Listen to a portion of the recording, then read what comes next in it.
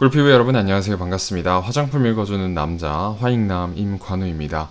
오늘은 1분 안에 간단하게 끝낼 수 있는 꿀팩을 만들 수 있는 방법에 대해서 한번 알아볼 수 있도록 하겠습니다. 저도 꿀팩을 가끔씩 활용하고 있는데 꿀만 있으면 되기 때문에 진짜 간단하게 할 수 있는 피부 관리 방법이라고 생각합니다 그리고 생각보다 어, 꿀로 인해서 피부에 부작용이 유발되는 경우가 잘 없기 때문에 꿀을 활용하면 조금 안전한 스킨케어를 할 수 있다는 장점도 있는 것 같아요. 꿀은 여러분도 잘 아시는 것처럼 역사적으로 약으로도 많이 활용되어 왔고 벌꿀에 함유되어 있는 꽃가루도 영양학적 가치를 현재 인정받고 있다고 합니다. 실제로 벌꿀에는 리보플라빈, 나이아신, 판토텐산, 비타민 B6, 엽산, 비타민 C, 칼슘, 철분, 마그네슘, 인, 칼륨, 나트륨, 아연 등의 비타민과 무기질이 풍부하게 함유되어 있습니다. 그러니까 피부에 굉장히 많은 도움을 줄 수 있겠죠. 실제로 그래서 꿀이 지니고 있는 다양한 유효 성분과 특징 때문에 벌꿀은 상처와 화상을 치료하는 데에도 사용되고 있고요. 실제로 항생제를 대체할 수 있는 항생 물질이나 기침과 같은 호흡기 질환을 개선하는 효과를 지니고 있는 천연 물질로 활용되고 있었습니다.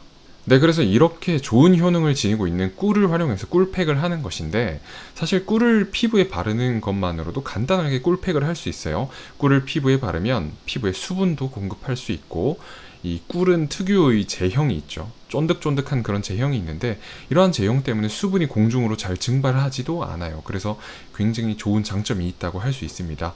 뿐만 아니라 피부의 노폐물을 흡착하는 능력도 지니고 있어요. 그리고 피부를 진정하고 그리고 노화 방지에도 도움을 줄 수 있기 때문에 이 꿀을 활용하면 건강한 피부를 여러분도 가꿀 수 있습니다.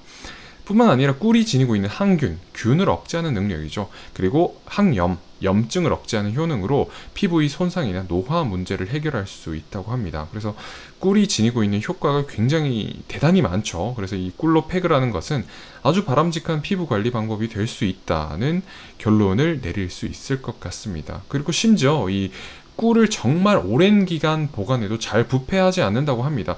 이 잘 부패하지 않는다는 성질을 지니고 있다는 것 자체가 어쨌거나 균을 억제하는 능력이 굉장히 뛰어난 것이 아닌가라는 생각이 들 정도인 것 같습니다. 자, 그래서 꿀팩을 어떻게 하는 것이 좋은지 한번 봤더니 꿀과 밀가루를 섞는 방식으로 잘 하시던데 사실 꿀과 밀가루를 잘 섞어서 할 수 있으면 더 좋겠지만 이 밀가루가 피부에 유발할 수 있는 그런 자극도 절대로 간과할 수는 없습니다. 그래서 저는 개인적으로는 꿀을 그냥 그대로 활용하시는 것을 추천드려요. 뭐 밀가루랑 굳이 안 섞어도 피부에 충분히 꿀은 바를 수 있습니다. 그래서 만약에 밀가루랑 꿀을 섞어서 피부에 부작용이 발생하면 이게 꿀에 의한 부작용이 유발된 것인지 아니면 밀가루에 의한 부작용이 유발된 것인지 판단하기가 조금 어려워요. 그래서 어, 꿀만 발라서 만약에 꿀에 의해서 부작용이 생기면 꿀만 안 사용하면 되는데 만약에 꿀팩을 해서 뭐 꿀팩을 하기 위해서 밀가루를 섞었을 때 이게 밀가루 부작용인지 아니면 꿀 부작용인지 분간하기가 어렵다는 것이죠. 그래서 이러한 판단력을 위해서라도 일단은 꿀이 잘 맞는지 확인을 하는 게 좋겠고 만약에 여러분들이 진짜 밀가루랑 섞어서 사용을 하시고 싶다면 꿀팩을 만들고 싶으시다면 밀가루만 물에 개어서 피부에 한번 발라보세요. 밀가루 팩을 해보시면 됩니다. 그렇게 해서 밀가루가 피부에 잘 맞으면 꿀이랑 밀가루를 섞어서 꿀팩을 하셔도 좋겠죠. 그렇게 하면 되고 그렇지 않은 경우에는 대부분 그냥 일반적으로 꿀을 바르는 방식으로 스킨케어를 하셔도 저는 어, 충분하지 않나라고 생각을 합니다. 그리고 뭐 꿀팩이 크게 어려운 게 없고요. 일단 클렌징 폼으로 얼굴을 깨끗하게 씻으신 다음에 꿀을 부드러운 뭐 실리콘 브러쉬 같은 것들로 얼굴에 잘 펴서 발라주시고 한 10분에서 15분 정도 지난 뒤에 미지근한 물로 깨끗하게 씻어주시면 됩니다. 그리고 뭐 따로 씻을 때 클렌징 폼으로 다시 씻으실 필요는 없으니까 씻고 나서 토너나 보습제 발라서 피부를 보습해 주시면 거의 완벽한 방법으로 꿀팩을 여러분이 하신 것이라고 저는 생각을 합니다. 실제로 꿀팩을 하면 우리가 일반적으로 시중에서 구입해서 사용할 수 있는 마스크팩을 하는 것보다는 효과적으로 피부를 관리할 수 있지 않을까 라는 생각이 들 정도로 꿀은 굉장히 다양한 효능을 지니고 있습니다.